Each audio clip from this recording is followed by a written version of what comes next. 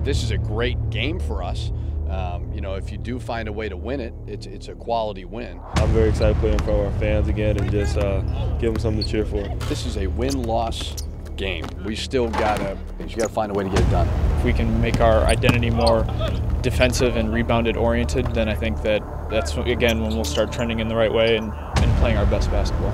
We're excited to play in this venue. Hope hope we get a really good crowd tomorrow.